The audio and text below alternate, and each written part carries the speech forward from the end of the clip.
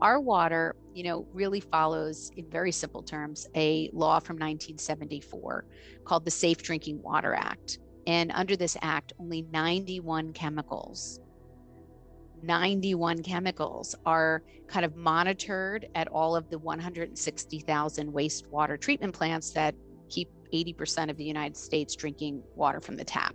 Okay.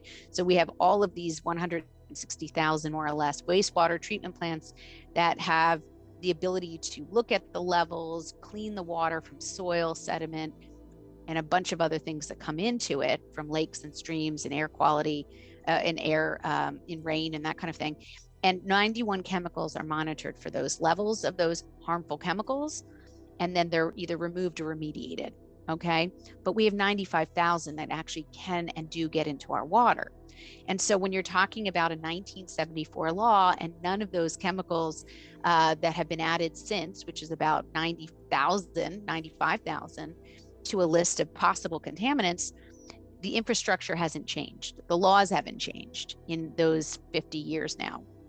Um, so we're really talking about a big problem where the chemicals have gone crazy in terms of the legis, you know, the ability to create them and push them into the market, and yet we're not fixing this water system that will feed right back into human health. We talk a lot on this podcast about different aspects of health, but have you ever asked yourself if the water you are drinking is safe? Does the water that you and your loved ones consume contain toxins that may be contributing to health problems? Today's guest, Dr. Aly Cohen, is here today to talk to us about chemicals in drinking water and the critical information you need to know to keep your family and yourself safe. I am Dr. Andrew Wong, co founder of Capital Integrative Health. This is a podcast dedicated to transforming the consciousness around what it means to be healthy and understanding the root causes of disease and wellness. And one of the root causes of wellness is healthy drinking water. Dr. Aly Cohen is a board certified rheumatologist and integrative med- medicine physician, as well as an environmental health specialist. Her medical practice, located in Princeton, New Jersey, focuses on the Western medical and integrative approaches to a variety of health conditions in both adults and children, including rheumatologic disorders like arthritis and chronic pain, but also immune system dysfunction, environmental health, and nutrition consultations. Don't miss this important conversation with Dr. Cohen today about why your drinking water may not be safe and what you can do to have healthier, safer drinking water that will support your optimal health. Well, thank you, Dr. Aly Cohen, for coming on today. We're so honored to have you. Great. Well, thank you for having me. It's a pleasure. Yeah, so I saw that we do. We've had a lot of, of similar backgrounds. Actually, you've um, trained with Dr. Andrew Weil. You're really um, well into the the fellowship, uh, teaching, mentoring, and things. It sounds like. Yeah.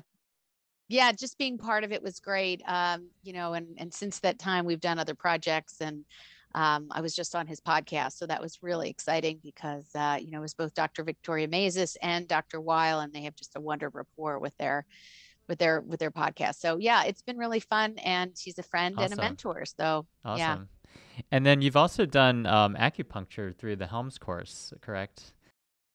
Yes, I, that was a long time ago, and uh, you know what I what I gained from that, which was a lot of hours for your audience. Uh, Helms is a program for physicians to um, learn acupuncture and do it sort of in a little bit more of a fast track because there's an assumption that you know the anatomy and some physiology, of course.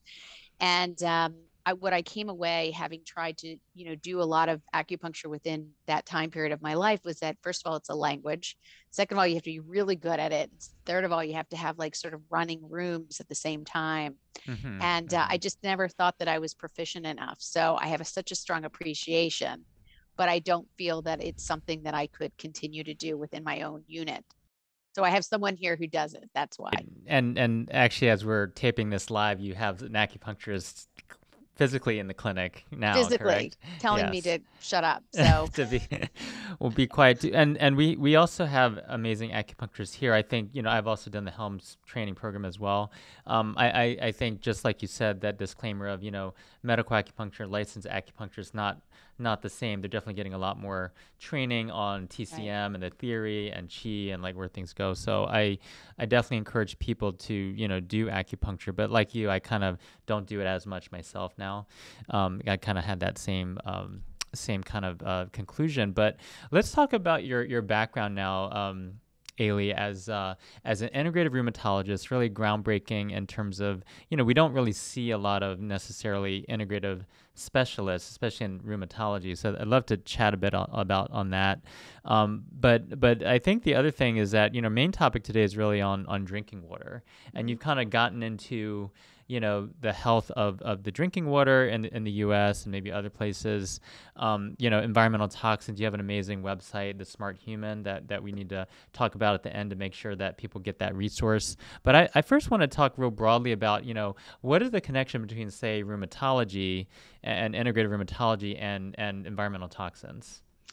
Yeah, well, that's a great question. Thank you for asking it. Um, and I think I didn't know that answer for many years. And I think where I am now has been a culmination of different bodies of, of information and training that have some unbelievably, you know, has come together in such a beautiful way to really give me some perspective on human health and chronic illness, particularly in rheumatology, of course, which I'm board certified in. So, you know, in short, you know, we have a whole bunch of training that teaches us, you know, symptoms, diagnosis of the disease and therapy and treatment, usually pharmaceutical. That's what we learn in medical school. And what I began to learn about 15, 20 years is that environment plays a role in pet health, because that's how I first got into this topic was through my dog getting sick um, from exposures, and I didn't know why. And then I realized humans can also get sick from exposures to a variety of chemicals and and out, you know, synthetic substances.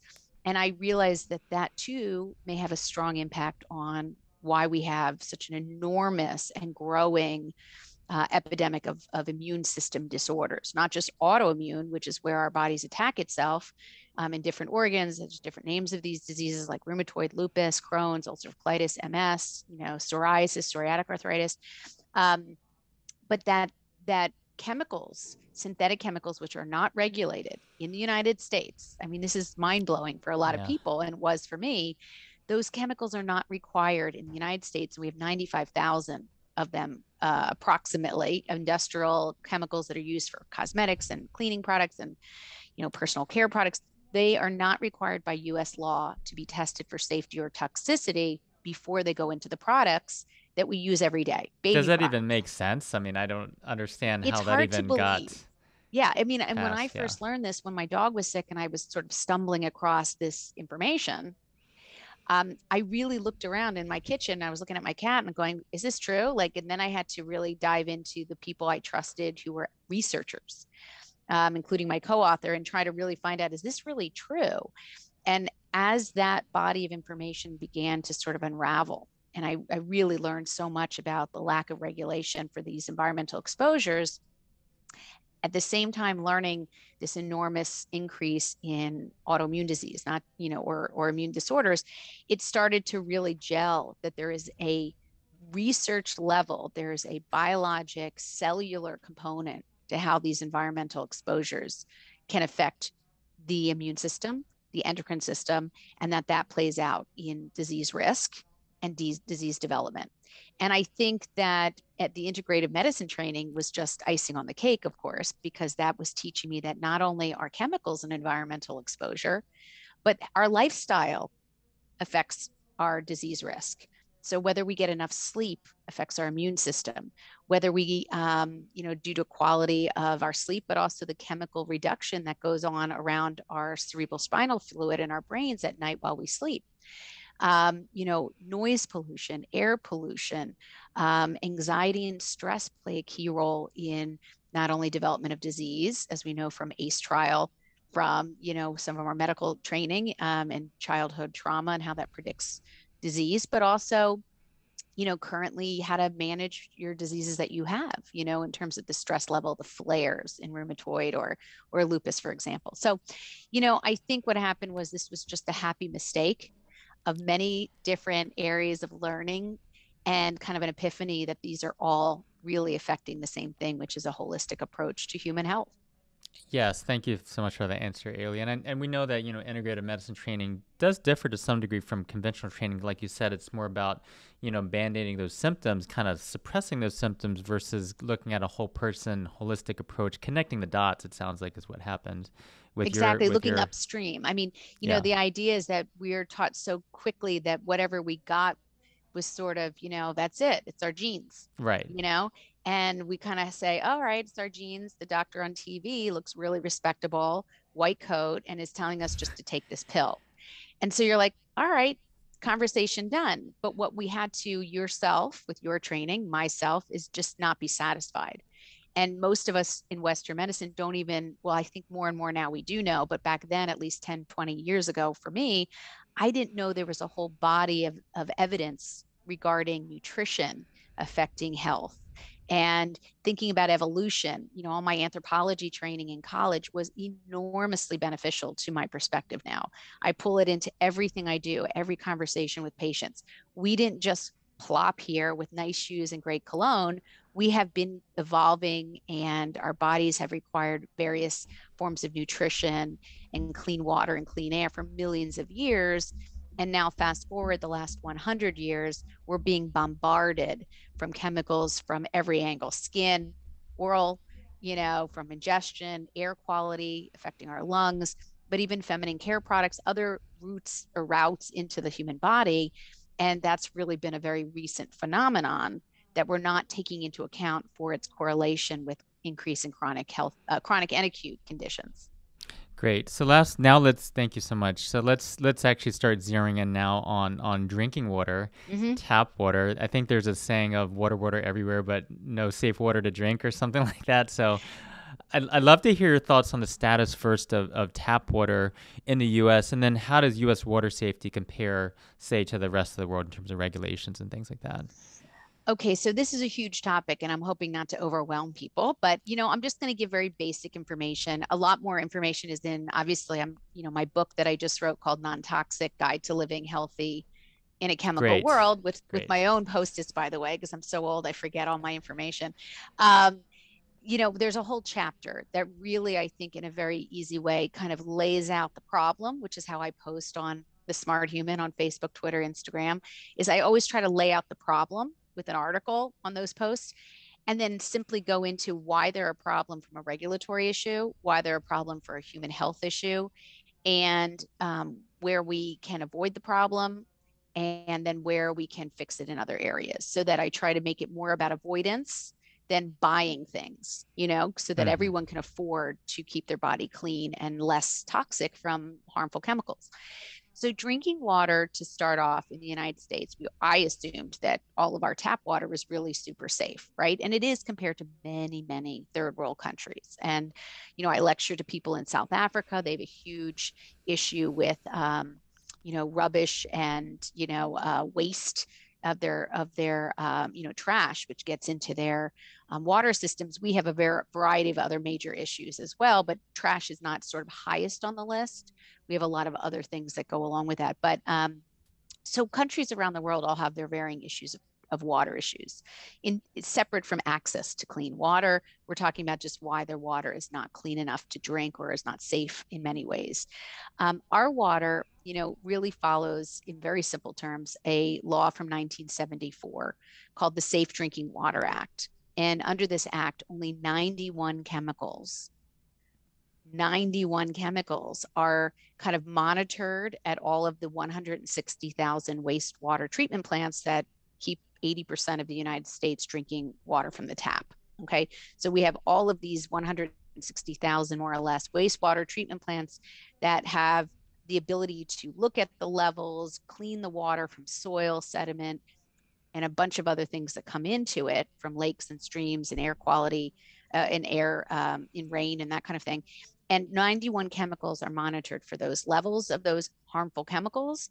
And then they're either removed or remediated okay but we have 95,000 that actually can and do get into our water and so when you're talking about a 1974 law and none of those chemicals uh, that have been added since which is about 90,000 95,000 list of possible contaminants the infrastructure hasn't changed. The laws haven't changed in those 50 years now. Um, so we're really talking about a big problem where the chemicals have gone crazy in terms of the legis, you know, the ability to create them and push them into the market, and yet we're not fixing this water system that will feed right back into human health and human, you know, risk for disease. Now that's municipal tap water. Then there's the whole issue of well water, which serves about 20%. So, you know, in, you know, uh, municipal tap is 80% more or less. Well water in, you know, um, rural areas, schools, it depends on the population they serve. Wells can, um, you know, take up the lack, the last less, you know, the rest of the slack. Wells have their own issues too, because wells, even personal wells in your backyard, they are not held to any high standard of testing. It is literally, you know, up to a homeowner to just test their water. And even when they test, it's a very limited number of chemicals. Soil is very absorbent. So chemicals can actually travel from, you know, um, you know, contamination areas, Superfund sites, um, manufacturing runoff, um, any type of spill or contaminant that's even 30, 40, 50 miles away from their well can certainly absorb some of those chemicals because soil is so absorbent, it goes into the wells. But in this country, in order to understand what's in your well water, it's only required to test that water for safety of a small handful of harmful chemicals, including benzene, when you sell your home. So that is the only time. So people can live in their home for 20, 30, 40 years and never know what's in their wells. Um, and things change over time with flooding and climate change issues as well. So you know, we re- really have this issue where we think our water is clean, we think it's regulated, and yet by the time it travels even from a, a, municipal wastewater treatment plant, could be 20, 30 miles, as in the case with my, um, you know, water company. And I've interviewed them and taken video and looked at their whole infrastructure, which they do everything they're supposed to do very well. Um, but they're they're just limited by the law of 1974, which is only looking again at 91 chemicals from an estimated 95,000.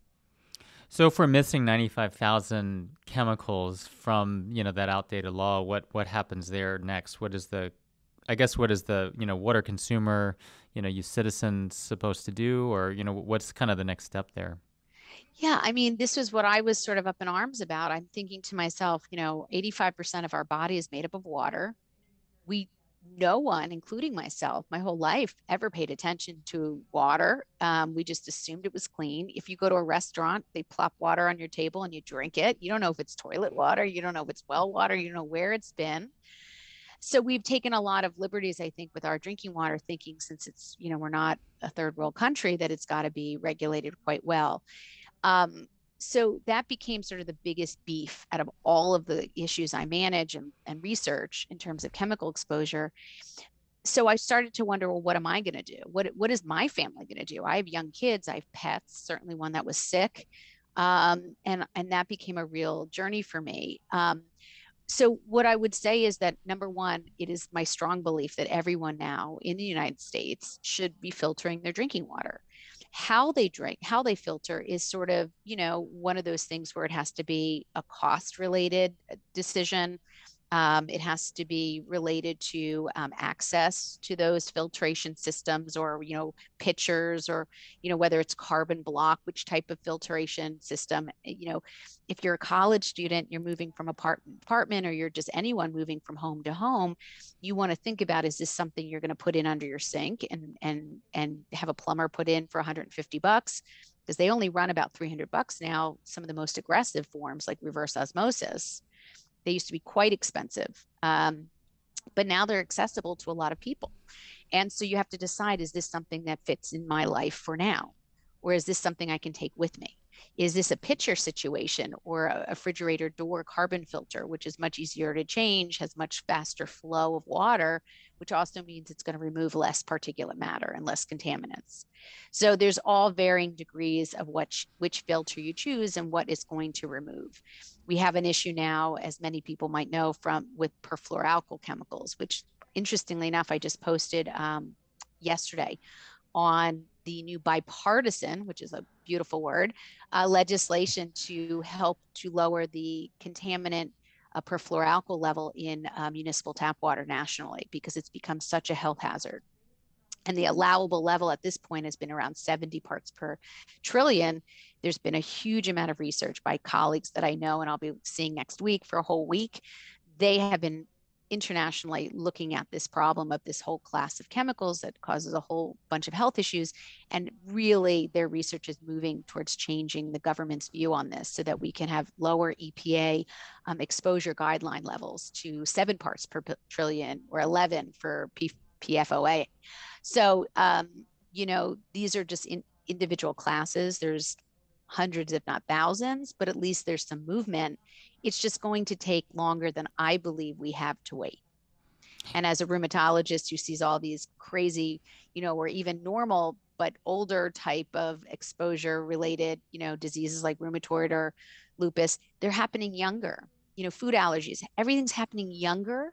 And a lot of these diseases are being diagnosed without any family history, yeah. which is saying that there's an exposure related component in a big way the world's getting more toxic. There's more pollutants. There's the regulations haven't caught up yet with that. Right. It sounds like, and I was going to mention that too. Thanks for bringing that up about the PFOAs. It, it, sounds like the conclusion now, based on the recent research, is that the the safe level is really zero. Correct. The safe level really is zero, and and and a lot of it comes down to also another aspect of is how how fast do these chemicals break down?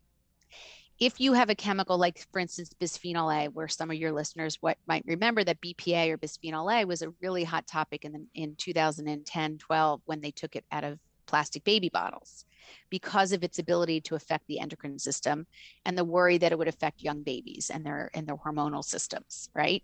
It was important enough to take it out of baby bottles that are plastic but it still remains in canned foods. It lines the bottom of all you know the plastic lining of all canned foods organic or not.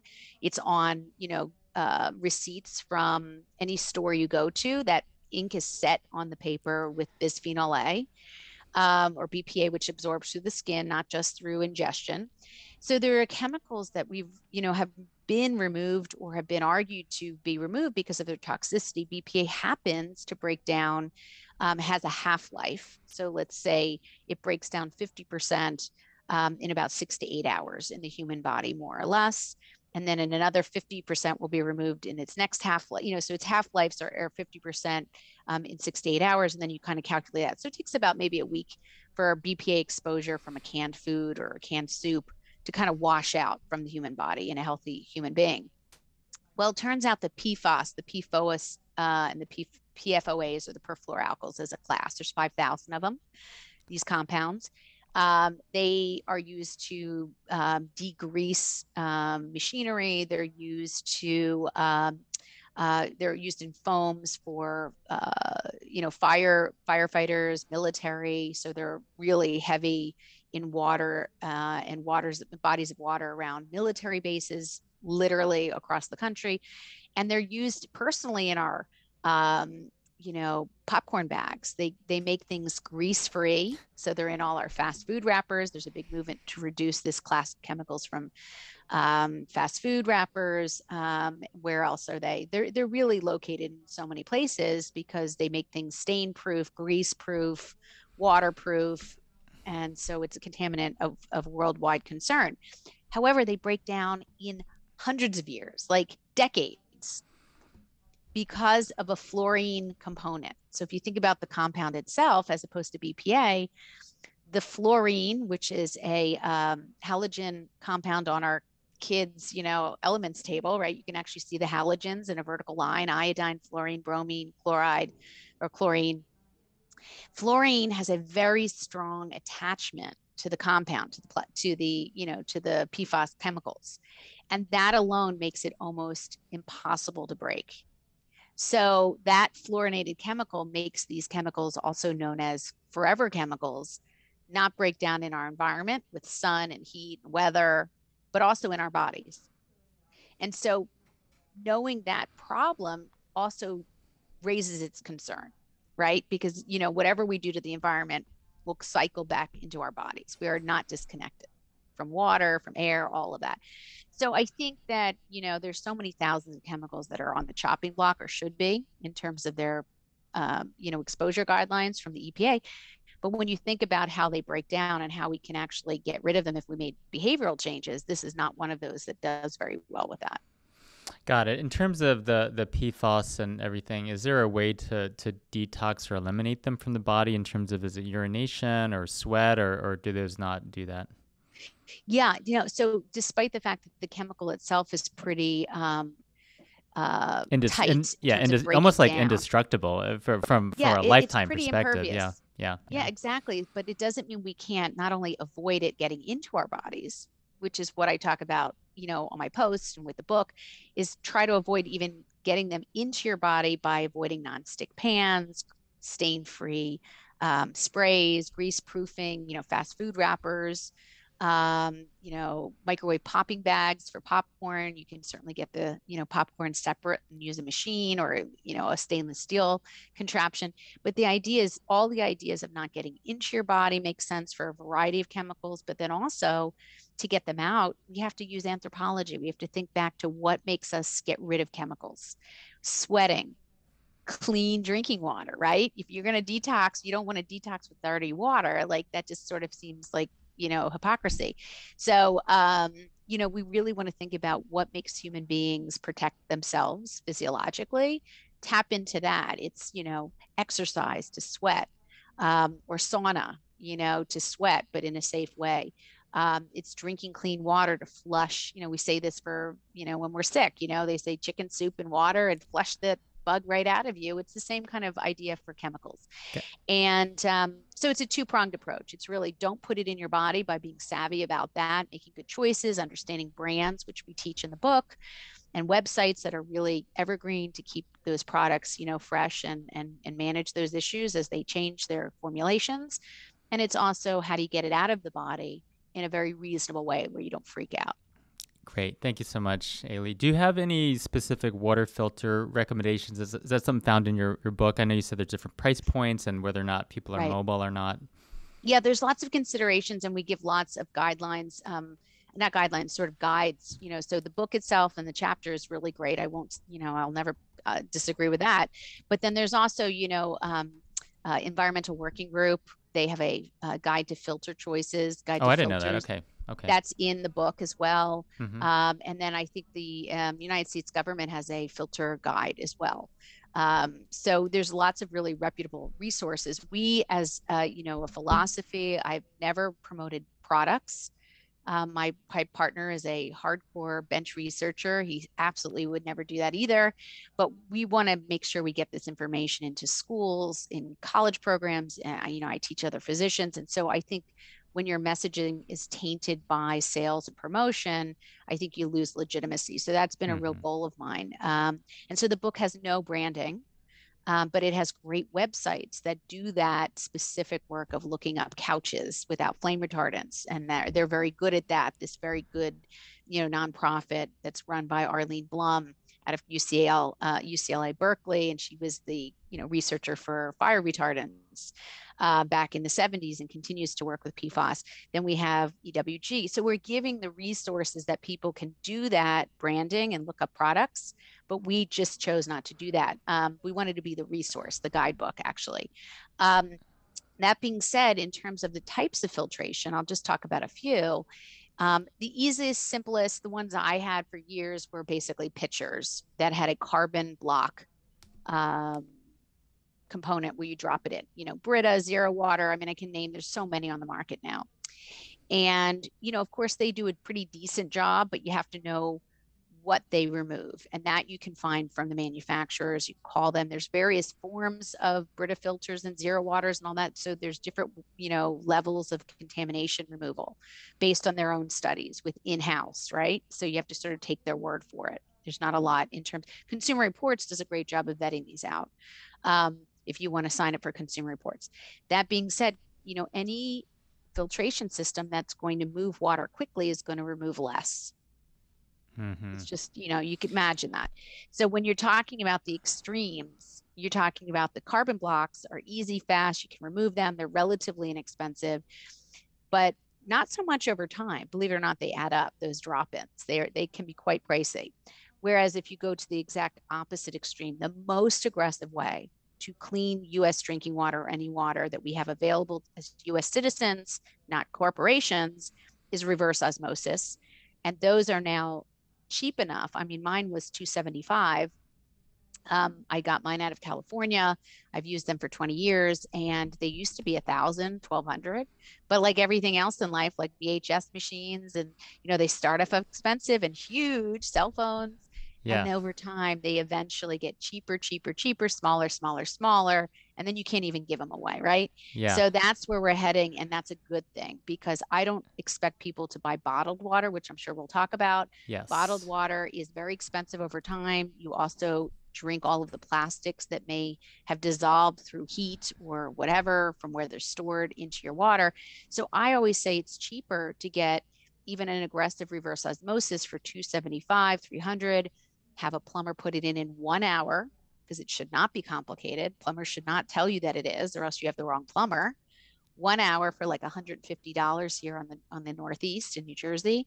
And then it comes with the filtration system all set up so you don't have to do anything for a year and then it would be 40 bucks a year to replace the cartridges so to me the upfront costs actually are far cheaper than buying pallets of plastics contributing to plastic waste and then also contributing to plastics in your body yeah, that's a great answer. I, I, think that you answered the question about is bottled water better than tap water. It sounds like it's clear that a filtration system that filters something, whether it's carbon block or RO or something, is going to be better than than drinking microplastics, essentially, which is what's happening. Right, essentially yeah. microplastics, and yeah. also seventy five percent of most tap water is, I mean, of bottled water is tap water. So it's really interesting when you go and you get tap uh, bottled water, which people do when they travel. I do too. People do when they have, God forbid, there's an exposure to your water system, contaminants. Sometimes there's a you know bottled water yeah. issue from your township. I do say do that as well. You know, boil your water, do whatever that's they're told. But if you can do 80 to 90 percent of your water from home where you fill up at home the point of use which is your sink whether it's well or municipal tap you're doing it under your sink and use glass and stainless steel of course to carry that new fresh clean water or cleaner water that's a really valuable thing to do. Um, and you save money and it's not it's not hard to create that system but it also really reduces exposure quite a bit. One little side question. Thank you so much. One one little side question for the brita pitchers and everything like that. Since their pitchers themselves are plastic, w- would that be a concern in terms of carrying that? Or and, and same with reverse osmosis. There's components of a reverse osmosis uh, machine that really, you know, seems hip- hypocritical, right? It's plastic, but you know, we have to work with what we have available. Yeah. And, you know, I tell my husband, if you're going to make coffee, use a French press, you know, try not to use one of those, um, you know, plastic machine things where you pop it in and it's waste and all that business. But hot plastics are always worse. So when I think about plastics for pitchers or reverse osmosis, think about the, the most important thing is that that plastic's not heated. It's not stored in a hot place like bottled water often is and travels in unrefrigerated mm-hmm. trucks. So think about that because when plastics are heated up in the dishwasher, traveling or in warehouses, that's when most chemicals can leach from that plastic matrix. Um, you can see that in in Tupperware when you when you get it, it's clear when you buy it, and a couple washes later at high temperature in a dishwasher, it's opaque. So that's telling you that that matrix is not strong enough to maintain its chemical structure. Um, so yeah, I mean, I think that bottled water is an option and sometimes, you know, sometimes, but most of the time, if you can avoid it, I think that's a much better way to go. And, and always look, you know, I went to a conference in Nashville and I went and got uh, bottled water because, of course, I couldn't take my reverse osmosis with me. And um, it actually said in ingredients municipal filtered water or municipal, uh, yeah, municipal filtered water, as if that was supposed to make me happy.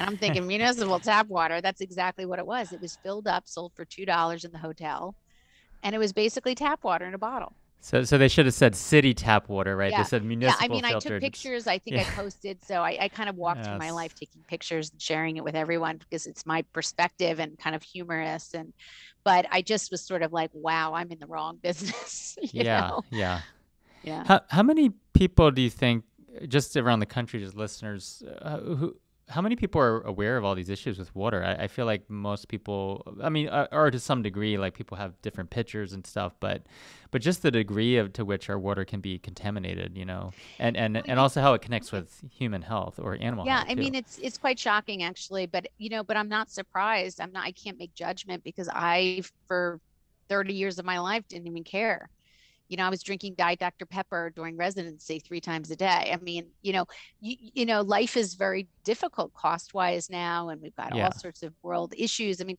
I would just say that water has never really been a lot of people's, you know, on their thought process.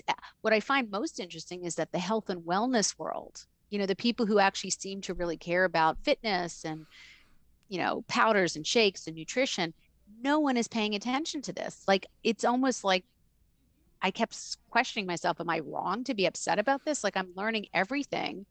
And yet I can't imagine that no one is as upset about the gallons of water that we throw in our body, but people are complaining about how much fat or protein or which diet, whole 30 or vegan or, you know, it to mar- to me, it's really like we're missing a huge, you know, influx of, of contaminant and that it's something that really doesn't take a lot of effort or really Mm. any money to fix and be conscious of. So it's become the I, I should say it has risen to the top, no pun pun intended, as the biggest beef I have with um, environmental health in environmental health, not with, but in environmental health, because of the volume, the risk to benefit ratio. You know, the volume we're exposed to and and sort of the risk to benefit ratio that has has just really seemed to be on fire.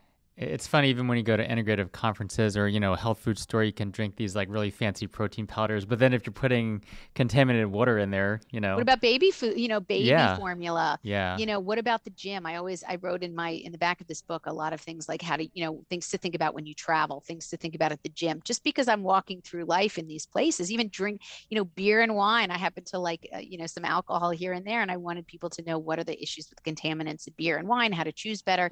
So, or soccer turf. My kids play sports, so I have a whole section on what's the issue with turf, sports Mm. turf. You know, Mm. because you don't want to just take your kids off the field. So, a lot of this is sort of real life living yeah. um, at least as a mom, as a practitioner. And, um, you know, you walk through life and you have to sort of think about these changes that you make in a way that's reasonable, that doesn't, you know, freak people out. Um, but I find that water is going to become more and more of an issue for people. I think, um, not just from a human health perspective, where we have issues, um, you know, with chemicals in water that affect hormones, such as fertility, you know so when these things start to hit home where we're having a, a fertility issue we're having an enormous number of hypothyroid hyperthyroid thyroid conditions not you know just that but we have hashimoto's which is autoimmune but we also have just basic um, hypo and hyperthyroid. We have thyroid medullary cancer so thyroid cancer has really you know become um, risen dramatically um, is that tied to water? Do you feel like that's tied to so water? So, interestingly enough, there's no real connection to that alone. But let me give your audience a little interesting piece of advice that I talk about in the book.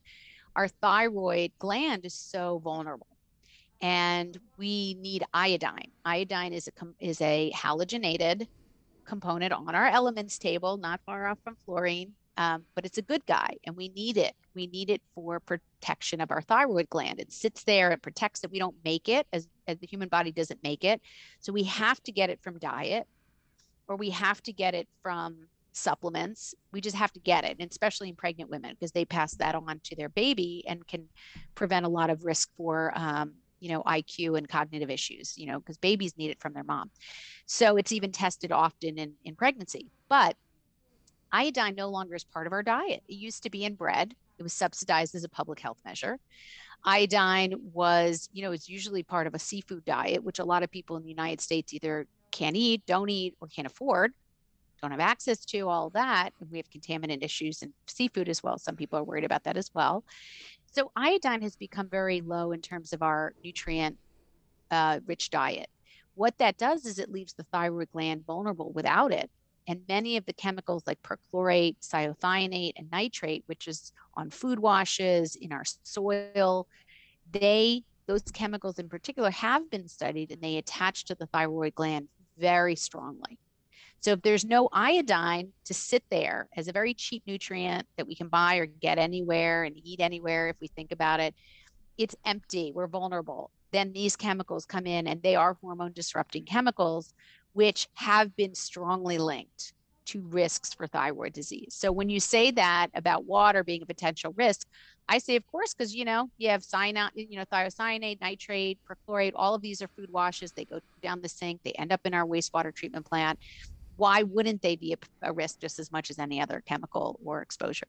And in, in combination with the fact that we're iodine deficient as a population, it sounds exactly. like, and that helps right and I, I recommend patients get a multivitamin with enough iodine. So yeah. again if you're not getting it from other sources you're not you know sea salt we all cook with sea salt now that doesn't typically have iodine because we think it's healthier but table salt often did have iodine subsidized into it. So the idea is if you're not getting it nutritionally you want to think about how to do that because food is always better than supplements but then if you're not going to be consistent then you may want to consider a multivitamin or something that you're going to consistently take to, to replenish that.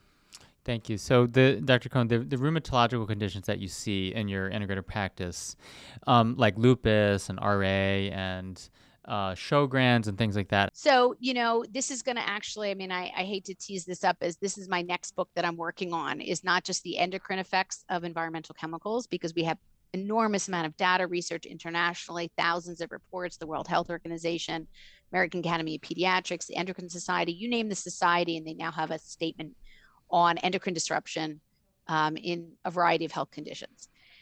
That being said, the immune system has been sorely overlooked. And I'm going to handle that in terms of grabbing the best of the best information from really well vetted research around the world. And I'm going to tie that in. It's been tied in before, but hasn't gotten any attention. So I'm going to really try to talk about how these chemicals, these environmental exposures, even stress and light, noise, pollution, all those things I'm going to tie in as well. Um, anxiety, try, you know, all of these things, poor sleep, they are all environmental components that that make the immune system not work to its fullest. And as anthropologic, you know, species, you know, that have evolved for millions of years, we weren't meant to have our immune system revved up every day and we're now at a point where we have this baseline level of inflammatory status for a variety of reasons. So it doesn't take much, like even COVID 19. I wrote a paper with my co author on this early on in COVID that we sort of have this tinderbox where we're living in inflammatory sort of eh, you know at a level that doesn't take much to set us off and we saw that in terms of how many people with chronic health conditions inflam you know uncontrolled diabetes you know hypertension obesity had a much higher risk of being ventilated and have morbidity and mortality. And so that wasn't clear in the beginning. And now i think we are very well versed on the fact that that's an issue. So i'm going to tie a lot of those chemicals and how they sort of trigger the immune system um, into you know being overactive and that in fact can can lead to a lot of uh, both acute and chronic health conditions.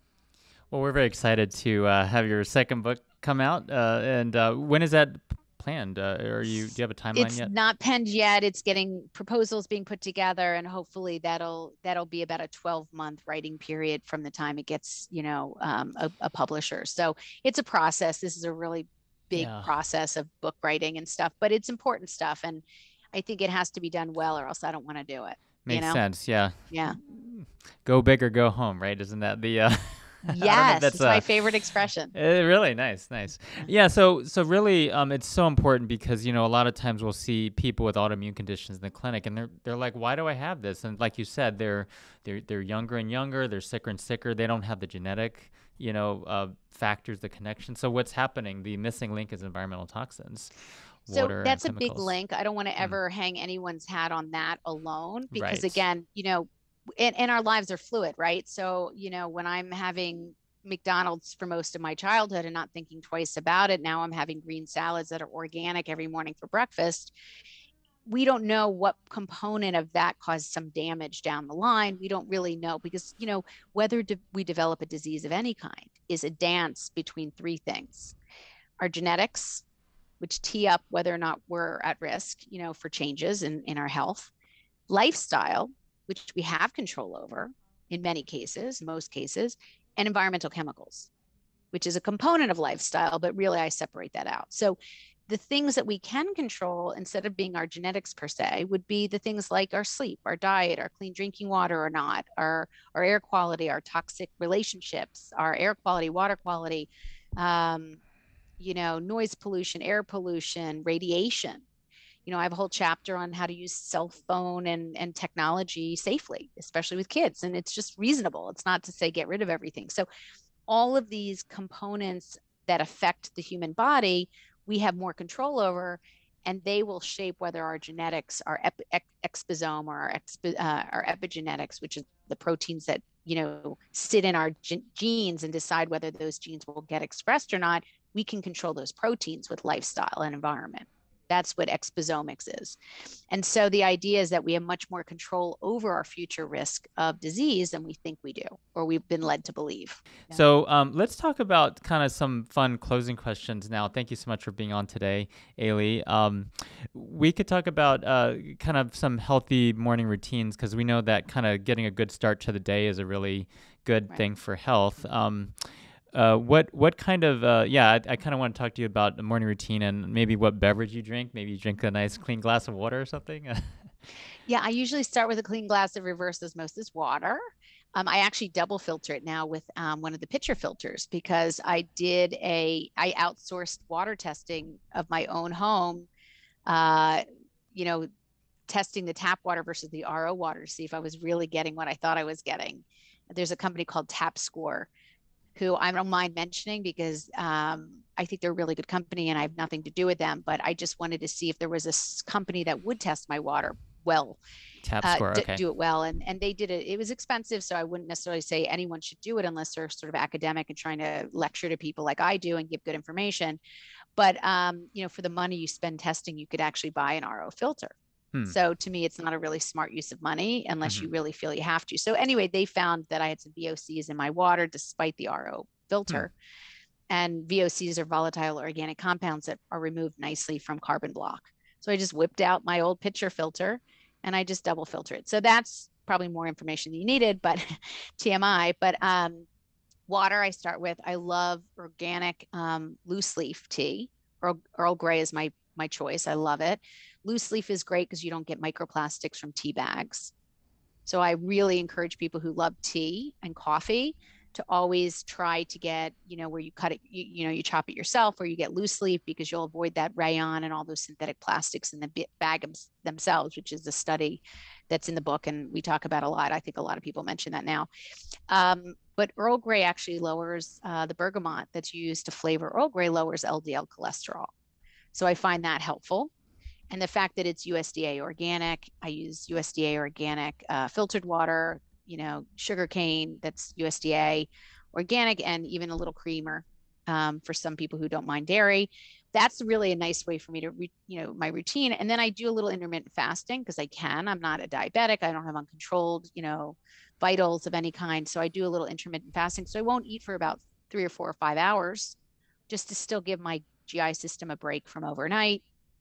And then I'll have a huge salad. I love a big salad, which was a joke back when I was a kid or even in my 20s and 30s. Would never have imagined that. But no breakfast food that you typically think of other than eggs for me. You know, no breads and scones and bagels and um, and so that's a good way to start my day. And I always have some type of fruit with it. Um, and my protein of choice is cottage cheese because it's so accessible, organic, um, I could just plop it on and I have a nice source of protein that's low in fat.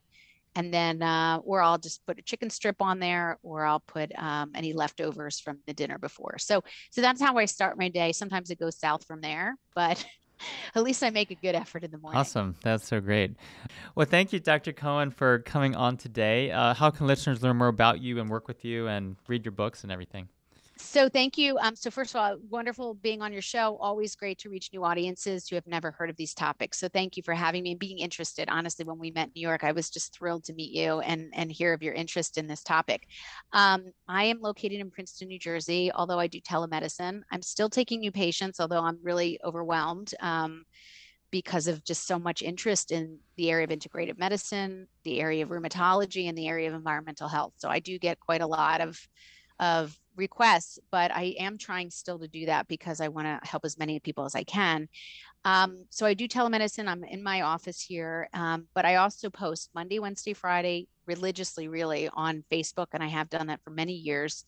Um, Fridays are usually mental health Fridays with something fun, interesting, useful. Mondays are sustainability ideas, oceans, how environment state changes, plastics.